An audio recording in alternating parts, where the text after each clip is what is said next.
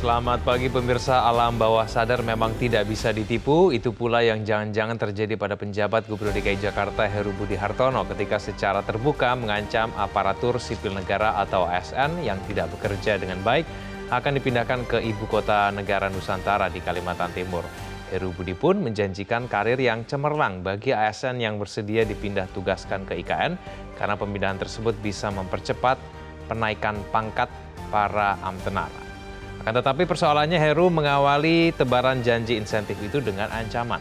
Pemirsa nilai editorial Media Indonesia edisi Sabtu 2 Desember 2023 dengan tema IKN bukan bahan ancaman bersama saya Kevin Egan. Anda juga bisa berpartisipasi dan berinteraksi dengan kami melalui telepon interaktif di nomor telepon 021 583 9900 dan pagi hari ini saya telah bersama dengan anggota Dewan Redaksi Media Group, Kania Sutisna Winata. Mbak Kania, selamat pagi Mbak Kania. Selamat pagi Egan. Apa kabar Mbak Kania? Alhamdulillah, baik. Egan apa kabar? Kabar baik Mbak Kania. Sebelum kita berbicara lebih jauh mengenai uh, eh, IKN yang bukan bahan ancaman, kita akan hmm. berbicara uh, mengenai headline di media Indonesia edisi hari ini. Ya. Kita ke tema kita pada hari ini Mbak Kania, IKN bukan bahan ancaman. Uh, pernyataan ancaman itu datang dari penjabat Gubernur DKI Jakarta Heru Budi Hartono hmm. yang uh, mengancam kepada ASN-nya kalau misalnya tidak berkinerja dengan baik akan dipindahkan ke IKN. Uh, ini dampaknya kira-kira seperti apa ya Mbak Kania ya? Bukankah ini membuat membuat uh, setiap ASN akan berpikir bahwa tempat IKN itu bukan tempat yang baik begitu untuk uh, untuk ASN itu akan menjadi walaupun tempat waktu itu ketika begitu. disampaikan disambut dengan tawa ya, ya. gitu ya, ya ketika betul. disampaikan walaupun uh, sebenarnya bernada mengancam ya, begitu ya apakah ya. itu ancaman atau bercandaan guyonan atau, guyonan gitu atau ya. seperti apa jadi yang pasti terjadi polarisasi begitu ada yang ya. menganggap bahwa itu adalah ancaman ada yang mengatakan bahwa itu motivasi hmm. jadi tergantung dari orangnya tergantung kali gitu ya untuk melihat okay. bagaimana pemahaman tentang pernyataan itu tapi kalau kita melihat IKR ini kan sepertinya tidak habis-habisnya iya. dibicarakan yeah. Uh, kemudian juga kita melihat bahwa uh, sebenarnya yang berusaha untuk dibangun persepsinya tentang proyek ambisius ini yang mm -hmm. akan uh, menyedot sampai dengan ratusan triliun rupiah gitu yeah. uh, adalah uh, proyek yang uh, seharusnya bisa menjadi tempat mendulang kesempatan kalau kita bicara soal ASN ya gitu hmm. yang akan pertama kali pindah ke sana gitu ya mendulang kesempatan karena kita digambarkan IKN itu adalah proyek uh, akan menjadi ibu kota yang menjadi simbol nasional super hub ekonomi yeah. gitu yang seharusnya ASN ASN yang berangkat ke sana itu ke sana itu adalah ASN ASN yang seharusnya berkinerja paling baik yeah, begitu karena ya, tadi juga iya. kita sempat dengar di headline gitu misalnya mengatakan yeah. dari Presiden Jokowi juga mengatakan akan memberikan sekian banyak insentif bonus yeah. dan harus berjiwa pionir yeah. jadi kalau kita melihat gitu persyaratannya sebenarnya luar biasa sekali harus hmm. punya pemahaman digital dan yeah, lain sebagainya yeah. begitu. Nah, hmm. ini akhirnya kemudian menimbulkan persepsi yang agak berbeda begitu ya ketika yeah. seorang PJ Gubernur DKI hmm. Jakarta gitu mengatakan bahwa bahkan seperti mengancam yeah. gitu ya kalau tidak berkinerja baik yeah. akan dikirim ke IKN gitu. Jadi hmm. persepsinya justru negatif gitu terhadap proyek ini. Nah kita ketahui yeah. kan PJ Gubernur DKI Jakarta ini kan orang terdekatnya gitu yeah. ya, orang terdekat dari Pak Jokowi. Iya. Jangan-jangan yeah. memang akhirnya persepsi yang berkembang di pejabat tinggi pemerintahan Jokowi terhadap proyek ini mungkin agak sedikit berbeda dengan keyakinan hmm. dari Presiden itu sendiri bahwa IKN ini akan menjadi proyek luar biasa begitu dan akan hmm. menjadi uh, istilahnya harapan Indonesia ke depan gitu kan seperti yeah. itu gitu. Nah uh, itu yang kemudian mungkin pemahaman tentang itu yang seharusnya diselesaikan terlebih dahulu mengenai yeah. apa itu proyek IKN, bagaimana visi misinya dan bagaimana kinerja dari ASN yang akan pindah ke sana duluan. Mm -hmm. Oke okay, baik, makanya kita akan ikuti dulu paket informasi berikut ini pemirsa nilai editorial media Indonesia IKN bukan bahan ancaman.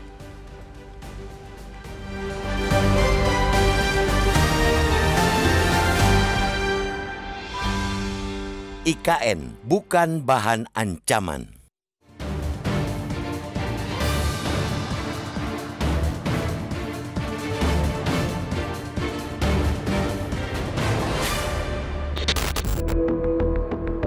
Alam bawah sadar memang tidak bisa ditipu.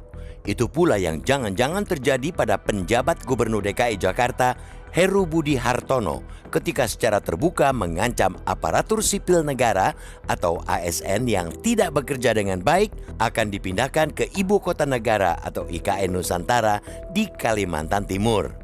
ASN Eselon 3 DKI Jakarta yang menghadiri pidato Heru Budi pada Selasa 28 November itu pun menyambut dengan tawa. Jangan-jangan pula sebagian dari mereka punya perasaan yang sama. Sinyal alam bawah sadar serupa dengan sang gubernur soal IKN Nusantara.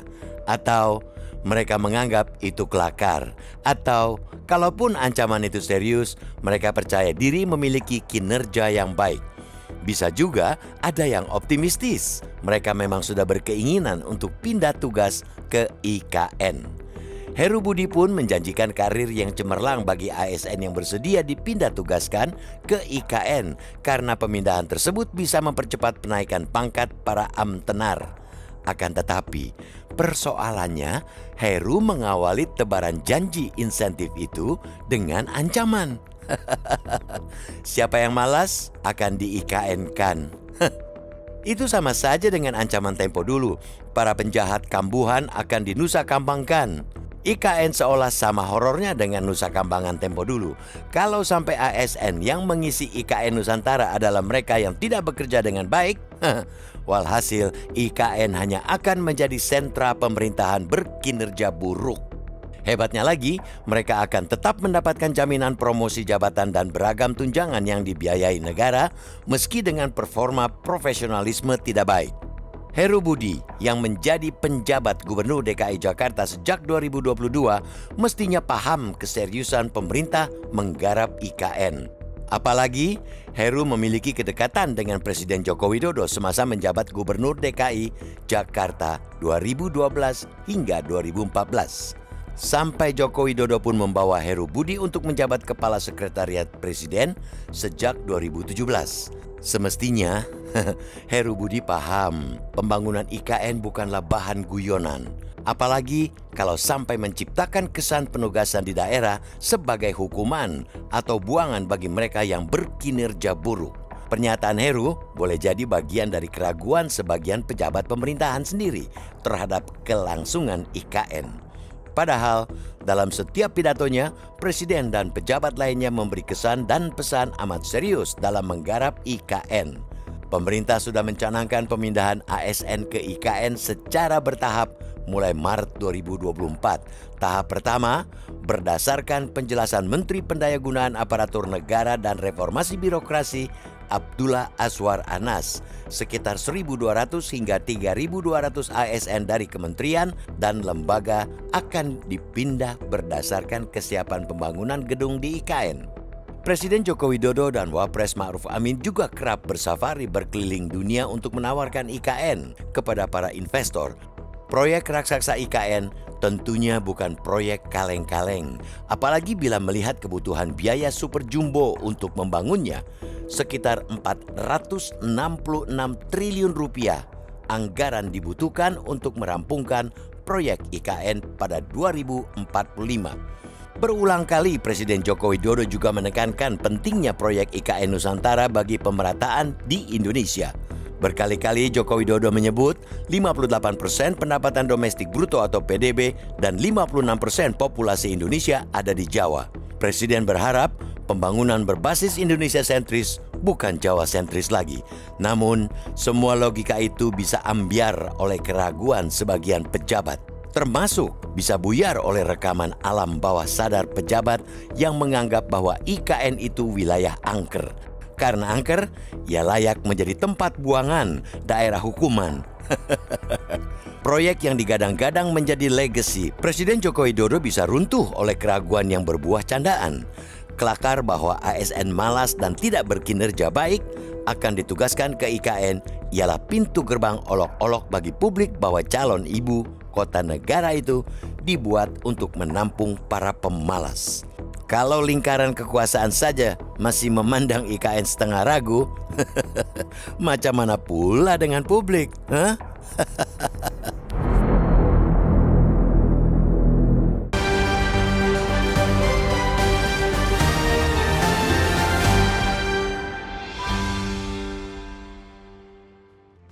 Pemirsa Anda bisa berpartisipasi dan berinteraksi dengan kami melalui telepon interaktif di nomor 021 583 9900. Kami akan kembali saja berikut ini.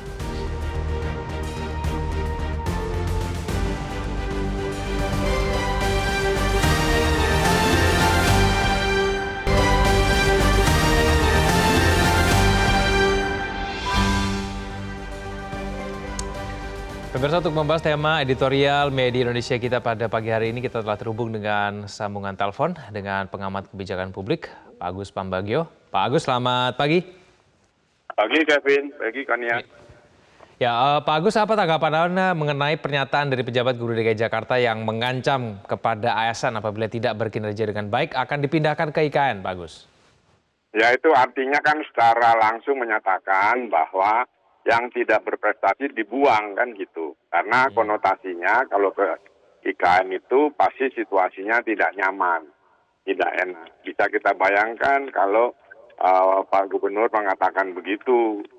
Uh, padahal kan itu proyek impian presiden. Ya. Nah, kan jadi publik menganggapnya bahwa ASN itu dibuang kalau yang ke sana. Kalau kan harusnya AS yang ke sana justru yang nomor satu gitu. Hmm. Dari katakan lima besar, karena kan itu ibu kota negara, masa dapat ASN yang kelas CR kan nggak juga. Ya, ya ini kan membuat kita jadi berpikir jangan-jangan ikan itu tempat buangan begitu, Pak Gus. Ya pasti, karena di, kan biasa, hmm. oh saya hukum saya buangkan Nusa Kambangan kan gitu.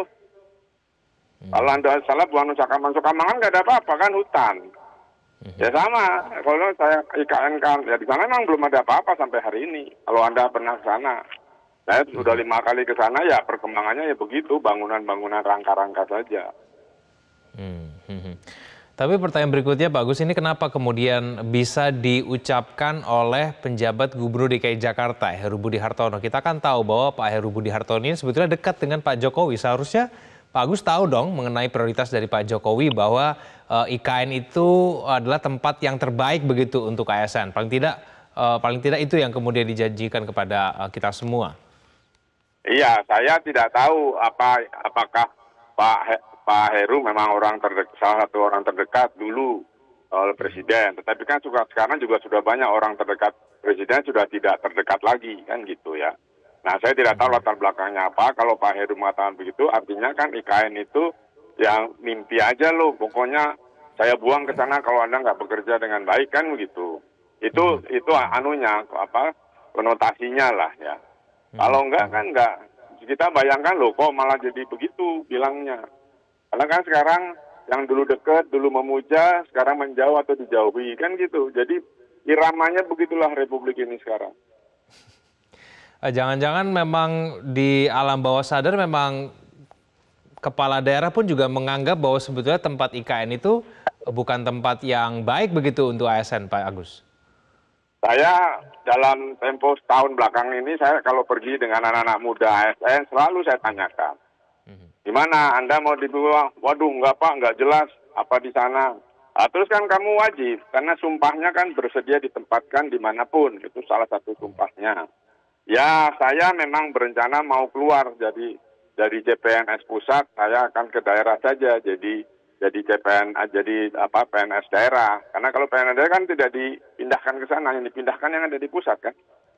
Jadi hmm. memang dari awal kesan dari anak-anak atau milenial itu bahwa itu bukan tempat yang nyaman. Kan memang tidak di ke sana gimana? Nanti apakah uh, ada tempatnya? Oke okay, sudah disediakan ke Kementerian PUPR apa cukup? Terus kalau ke sana saya sudah bawa keluarga apa boleh bawa keluarga? Kalau tidak saya harus pulang berapa kali dibiayai atau biaya sendiri. Kan itu pertanyaan-pertanyaan anak-anak itu ketika saya tanya. Yeah. Gitu kan, terus ke kamar berapa, terus nanti makannya bagaimana, kalau sakit ada dokternya enggak. Yang hmm. perlu tahu, Anda tahu di sana juga air masih sangat sulit. Saya sempat ke sana melihat uh, tanah di bawah 100 meter lebih belum keluar air. Itu kan menjadi persoalan. Hmm. Tapi kan ada janji juga yang diberikan kepada ASN ini Pak Agus ada rumah tapak, uang pindahan, berbagai macam insentif. Tidakkah itu ya kemudian itu. membuat mereka yakin mau pindah? Enggak lah, kan lihat kan pasti di antara mereka ada yang pernah ke sana lalu cerita pada temannya kan atau mereka punya teman di ASN yang ada di Kalimantan Timur misal. Ya. Kan rumahnya iya rumah gitu katakan sudah disiapkan lah permen itu ke satu ruangan itu satu unit itu katakan ada tiga orang tinggal di situ. Itu bujangan atau keluarga perempuan laki di sebelah mana? Ya kan dokter kalau sakit karena terakhir saya ke sana itu adanya cuma perawat misalnya. Mm-hmm. nah semacam itu kan perlu kalau tidak saya di mana? Oh harus kos. Nah kosnya berapa? Di mana? Ke kantor naik apa? Kan posisi kementeriannya masih dalam sedang membangun. Dan semua itu kan dibiayai dibangun oleh uang, uang APBN bukan uang investor. Investor nggak ada yang mau. Gimana kalau Anda jadi investor kan pasti tanya populasi daerah itu berapa? Golongan masih ma, manusianya apa saja. Kalau nggak ada ya nggak mau bangun lah. MOU ya MOU kan kayak kita uh, bucin gitu terus uh, bilang I love you terus pergi lagi kan nggak apa-apa. Nah itu kan persoalan-persoalan itu yang belum. Nah sementara Presiden memaksa para taipan-taipan lokal itu dan mereka juga berhitung. Coba lihat sekarang, cuma dikasih pagar atau bahkan diparkir satu beko, kelihatan sedang membangun, padahal tidak. Semua nunggu pemilu. Pak Agus, kira-kira dampak dari ancaman ini terhadap IKN itu seperti apa? Image apa kemudian akan timbul ketika kemudian uh, kepala daerah mengancam ASN-nya menggunakan IKN begitu? Ya makin jelas bahwa IKN nggak jelas kan? Jadi kalau Anda tidak berprestasi dibuang. Jadi urusannya kalau IKN dibuang gitu. Bukannya urusan kalau IKN Anda berprestasi. Sehingga jenjang karirnya akan bisa dipercepat. Kan begitu. Ada nggak itu peraturan menteri uh, apa namanya uh, Pan RB yang mengatakan itu atau Kementerian Dalam Negeri? Kan nggak ada. Yang ada dibuang. Coba kalau ke sana, Anda ke sana dapat percepatan naik pangkat, naik golongan, kan pasti image-nya bagus. Dampaknya untuk ASN sendiri bagaimana, uh, Pak Agus? Apakah mereka akan semakin termotivasi untuk berkinerja baik begitu supaya tidak pindah ke sana atau atau bagaimana, Pak Agus? Nah, tadi saya sudah bilang, saya selama tahun belakangan kalau ke daerah ke mana-mana pergi bareng dengan kawan-kawan ASN muda yang baru masih ada yang CPNS, masih yang sudah baru setahun dua tahun, nggak ada yang mau berminat ke sana. Hmm. Apalagi 2014, eh, 2024 mau upacara kan semua pasti harus ada di sana. Kalau nggak bagaimana nyiapkan upacara? Yang mau. Makanya tadi saya katakan pada pindah. Nah sekarang kalau saya tidak salah di Kementerian PUPR sudah tidak bisa lagi yang sudah CP, yang sudah PNS pindah ke daerah. Gitu. Dulu pada pindah itu. Bagus bagi investor sendiri bagaimana? Mereka semakin berminat tidak melihat pernyataan dari uh, ini, ancaman begitu dari ini? Ya, tadi sudah sempat saya katakan juga bahwa investor katakan investor asing, oh sudah sekian puluh atau ratus MOU. Kan baru MOU. MOU itu nggak ada ikatan hukum, dia pergi-pergi aja. Nah, investor itu melihat, nah, saya mau bangun apa di situ? Hotel. Populasinya berapa di sini? Orang yang pendatangnya berapa? Apa kerjanya? Kalau dihitung tidak masuk, ya dia nggak akan bangun lah. Itu yang terjadi dan sekarang pergi satu-satu sudah. Dari yang MOU saja loh ya, belum ada yang terikat kontrak. Makanya Presiden meminta para taipan lokal ini untuk menjadi investor. Karena nggak ada yang ke sana, nggak ada yang mau investor itu. Ya nggak jelas. Dan ada targetnya cepat-cepat tadi. Nah investor asing kan nggak bisa kalau disuruh cepat-cepat seperti kontraktor sini. Nah si investor lokal pun kan iya saja. Kalau enggak kan nanti bisa di macam-macamin sama pemerintah kan iya saja. Ya terus gimana? Ya sudah dikasih pagar ditulisi misalnya tanah milik A di B terus nah, kalau biar yakin sudah mau dibangun ya digali-gali dikit lah taruh satu beko di sana kelihatan jadi nanti kalau presiden atau pejabat datang oh itu sudah sedang dibangun padahal ya sampai kapan pun akan gitu sebelum ada kepastian Oke, baik, bagus. Terima kasih telah bergabung bersama kami di editorial Media ya. Indonesia. Selamat pagi, bagus. Ya, misalnya ke mana-mana, editorial Media Indonesia akan kembali saja dari berikut ini.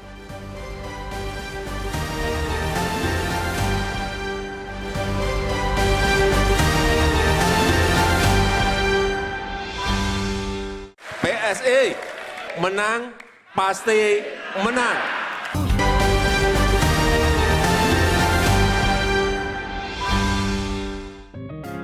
Media Indonesia mengajak Anda untuk mengakses fitur premium e-paper.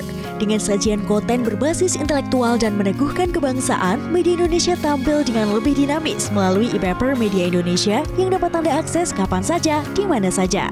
Caranya mudah, download aplikasi Media Indonesia di Android atau ketik link epaper.mediaindonesia.com atau bisa scan QR code pada layar kaca Anda. Klik tab e-paper di bagian samping layar tablet Anda, daftarkan data diri, serta pilih paket perlangganan e-paper Media Indonesia sesuai dengan kebutuhan Anda. Nikmati juga bonus spesial tambahan 4 halaman rubrik fokus setiap hari. Semua bisa Anda dapatkan hanya di e-paper Media Indonesia.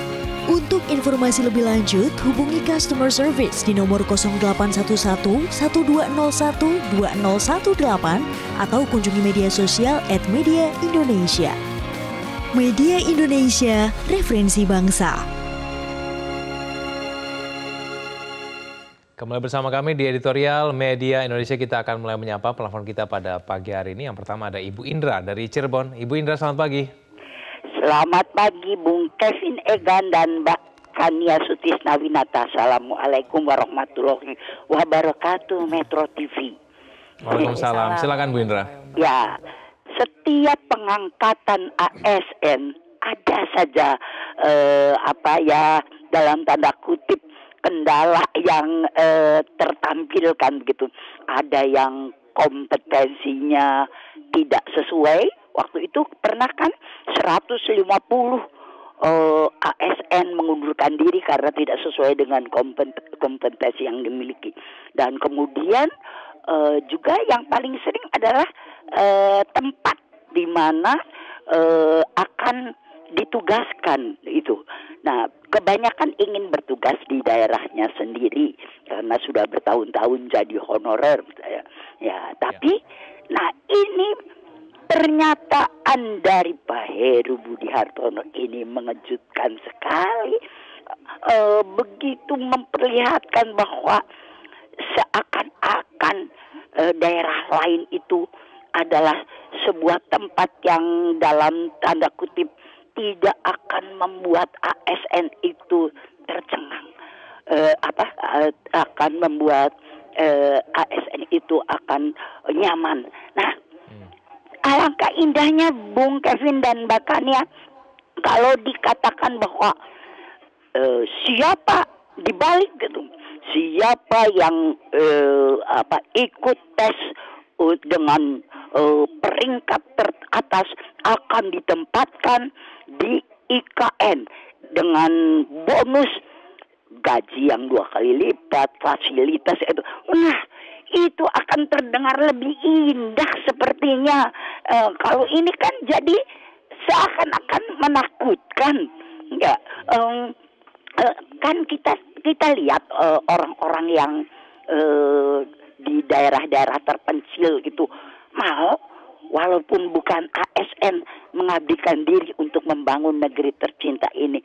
Jadi sekarang sepertinya dibalik kalau dulu ditempatkan di daerah tertinggal, sekarang ya. ayo siapa yang mau ditempatkan di ibu kota negara? Nah, itu kayaknya kontroversi banget. tapi eh, kita percaya bahwa kaum pionir itu akan mau masih banyak uh, generasi muda yang ya. ingin membangun tanah air ini dari mana pun dari ibu kota ataupun dari daerah terpencil. Terima Baik. kasih Bung Gavin. Assalamualaikum warahmatullahi wabarakatuh. Ya, waalaikumsalam. Terima kasih Bu Indra dari Cirebon. Selanjutnya ada Bapak Tasrik Usman dari Banjarmasin. Pak Tasrik, selamat pagi. Selamat pagi Mas Kevin, selamat pagi Mbak Kania. Pagi Pak Tasrik, silakan Pak Tasrik. Pak Tasrik. Baik, IKN bukan bahan ancaman.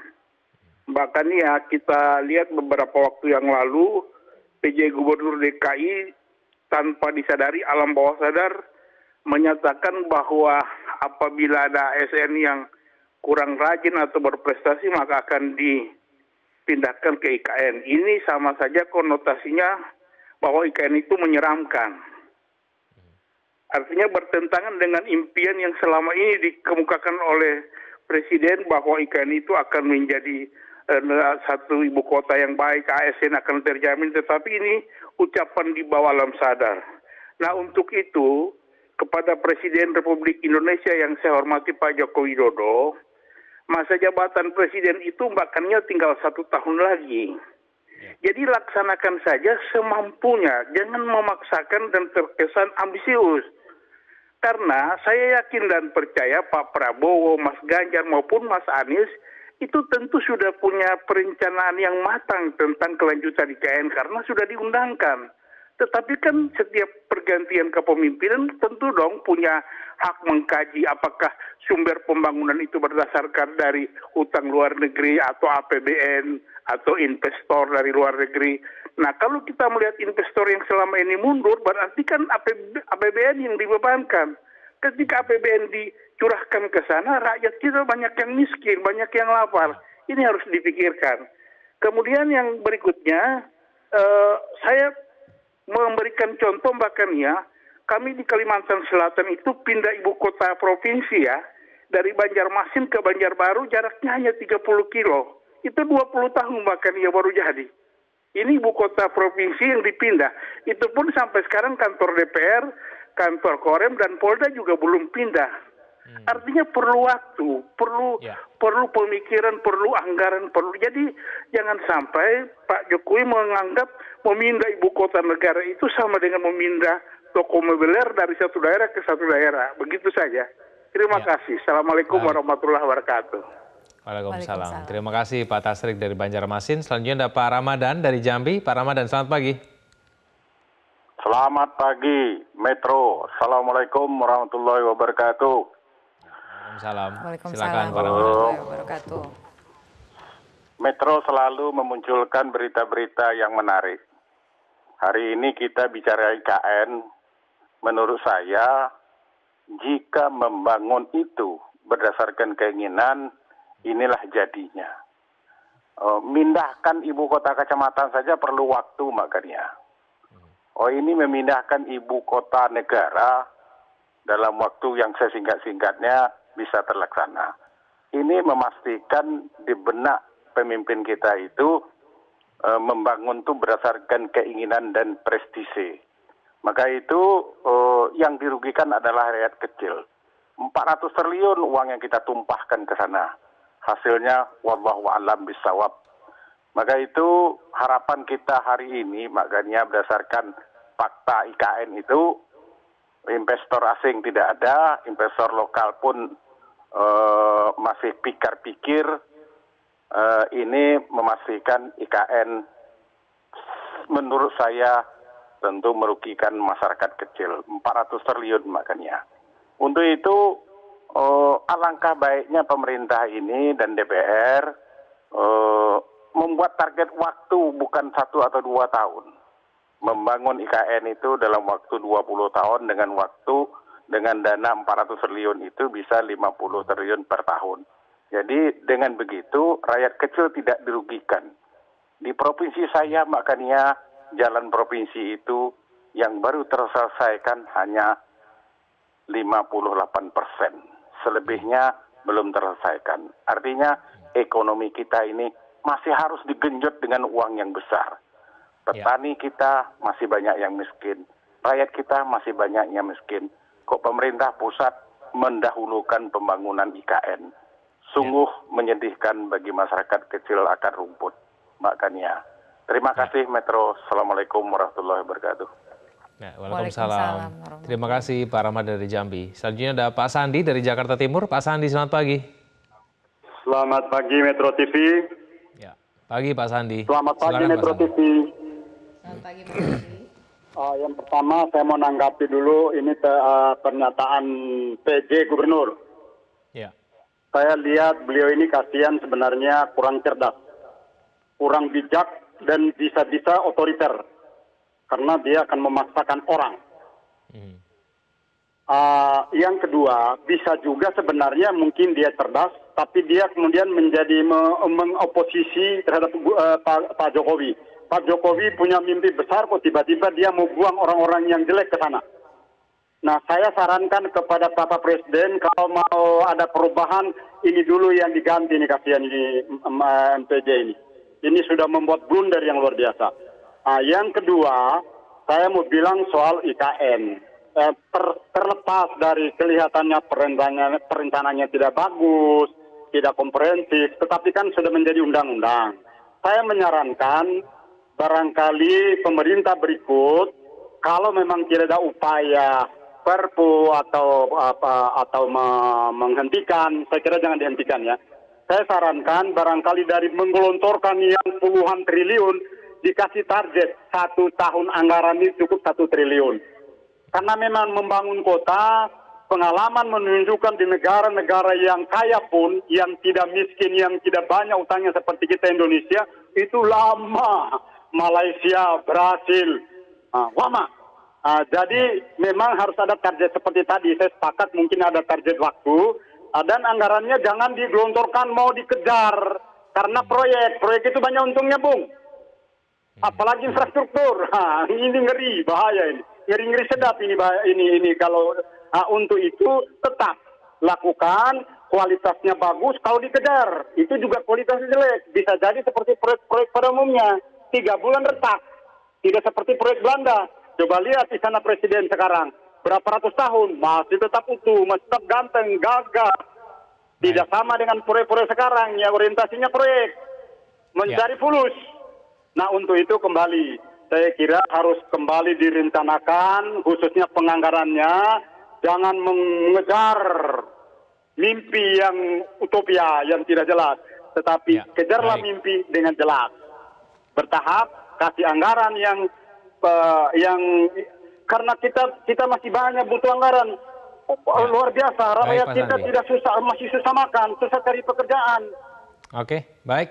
Terima kasih Pak Sandi dari Jakarta Timur. Kami sudah menangkap poinnya. Pemirsa jangan ke mana-mana. Editorial Media Indonesia akan kembali saja dan berikut ini.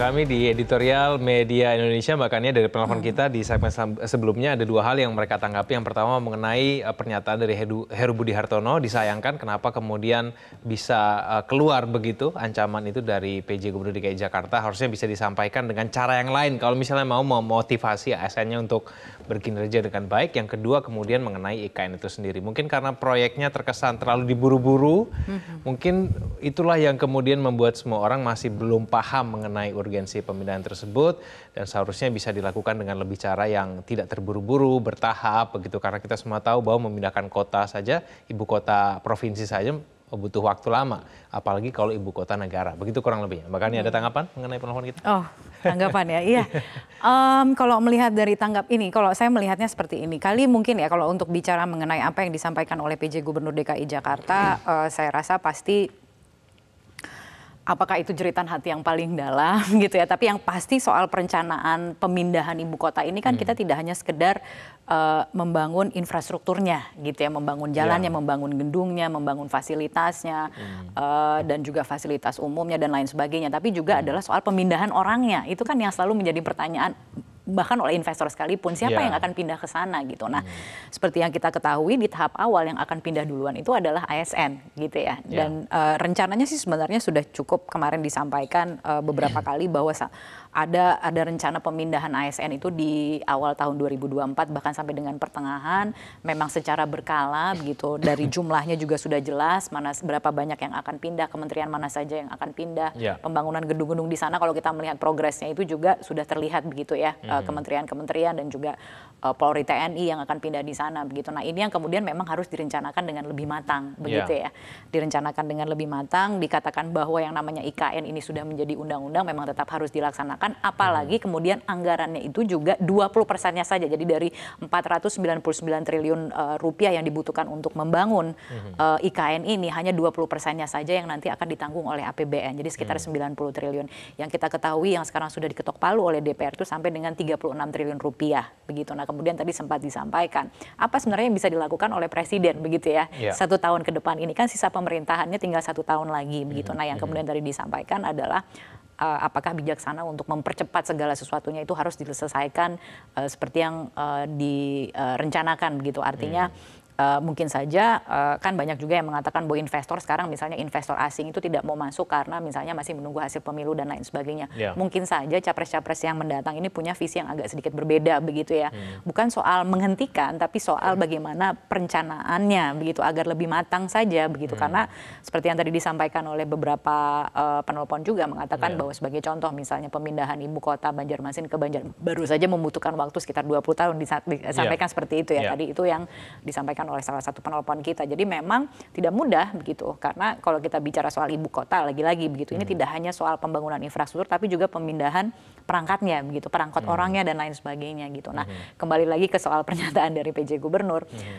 Uh, memang sepertinya pemahaman gitu ya hmm. tentang IKN sendiri, tentang kinerja ASN dan lain sebagainya ini angka langkah lebih baiknya apabila bisa dilakukan dengan lebih lebih cerdas dan lebih bijaksana gitu ke depannya agar okay. kemudian tidak menimbulkan polarisasi di tengah masyarakat karena yeah. lagi-lagi penelpon mengatakan bahwa akhirnya mempertanyakan soal prioritas bukan gitu yeah. ya yeah. di tengah Baik. prioritas uh, pembangunan yang sekarang paling dibutuhkan misalnya soal lapangan pekerjaan dan lain sebagainya soal kemiskinan dan lain sebagainya begitu padahal yeah. kalau kita melihat konsep dari IKN sendiri misalnya ya salah hmm. satu targetnya itu adalah bagaimana penduduk di IKN nantinya hmm. pada tahun 2035 itu dikatakan tingkat kemiskinannya 0% loh itu salah satu target yang yang ingin dicapai dengan pembangunan IKN ini. Jadi sebenarnya okay. uh, eh, mimpinya sangat sangat luar biasa begitu. Tapi hmm. sekarang yang menjadi pertanyaan adalah soal keberlanjutannya begitu. Nah, yep. tadi dikatakan bahwa mungkin perlu perencanaan yang lebih cermat, lebih matang dan okay. mungkin lebih uh, realistis uh, ya. saya tidak tahu begitu ya tapi ini semuanya adalah masukan dari pemirsa-pemirsa kita yang tentunya juga punya kepedulian okay. tentang tentang IKN ini baik gitu. Mbak Kani kita akan lihat nanti akan seperti apa terima kasih Mbak Kani telah hadir pada pagi ini selamat pagi selamat pagi Pemirsa proyek yang digadang-gadang menjadi legasi Presiden Jokowi bisa runtuh oleh keraguan yang berbuah candaan. Kelakar bahwa ASN malas dan tidak berkinerja baik akan ditugaskan ke IKN ialah pintu gerbang olok-olok bagi publik bahwa calon ibu kota negara itu dibuat untuk menampung para pemalas. Kalau lingkaran kekuasaan saja masih memandang IKN setengah ragu, macam mana pula dengan publik? Pemirsa terima kasih anda telah, anda telah menyaksikan editorial Media Indonesia. Selamat